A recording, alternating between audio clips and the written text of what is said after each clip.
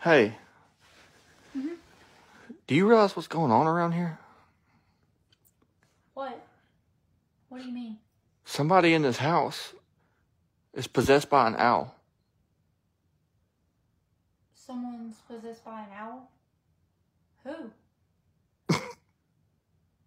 I wish I could bring you back to where I found you. Tried to go through my wife's phone and found this. See what she's been hiding.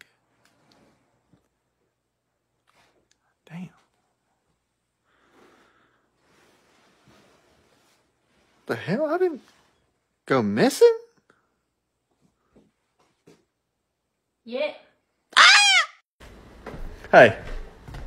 I'm done taking your crap, Chelsie. Excuse me? You heard me? I'm done taking your crap, and there's nothing you can do about it. But I didn't do anything. Oh no. Don't try to act all innocent now. But I really am innocent. You're telling me you just changed overnight, huh? I really did. And you just hurt my feelings. So now I need a hug. Okay, fine. Come here. I'm gonna take off your eyelids when you go to sleep. What? Hey, babe, let's try something. I never like when you say that. Come on, just hear me out. Okay, what is it? Let's go one week without our phones. You know we can't do that. I mean, I can't. I don't know about you. Well, it's just that I don't want to. That's because you can't go one week without talking to Tyrone. So what? It's just because you don't know how to treat a lady. You sure? That's not what your grandma told me last night after bingo was over. Say, homie, you're in my seat. Get up. Did you forget to put on your ears today or what? No, I just know you ain't talking to me. Actually, I am talking to you, so you might want to get up. I don't think you want me to get up. Why's that? Because if I get up, it'll be the last time you ever see me. So what? You're saying you're gonna leave? No, I'm saying I'm gonna take your eyeballs. Oh. I'll just find another seat. What's wrong with you? Nothing's wrong with me. I know when something's wrong. Why don't you just tell me? I just miss my old wife. See, that's why I didn't tell you. I knew you'd be mad.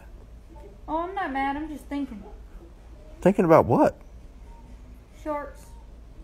Sharks. You trying to go fishing? Yep. You better go find some shark bait. I already did. You ain't got no shark bait. Yeah, I do. I'm looking at it. You really are one scary mother. Hey, babe, I gotta get some groceries. I'll be back. Okay. I love you. All right, I love you too, Donald. What did you just call me? I called you Chelsie. No, you didn't. You called me Donald. My bad, babe. Donald is an old friend of mine, and y'all just kind of look alike. But Donald is a guy's name. Yeah, I know that. So you're telling me I look like a dude? No, baby, y'all just have the same mustache going on. That's it. Babe, it's okay. All you gotta do is shave it. Hey, babe, are you hungry? Yeah. Actually, I'm starving. Okay, good. How does Hooters sound? Don't play with me. What? I thought you said you were hungry. Not anymore. Fine. I'll just go by myself then. Go ahead. I'll finish my report while you're gone. What report? My missing person report.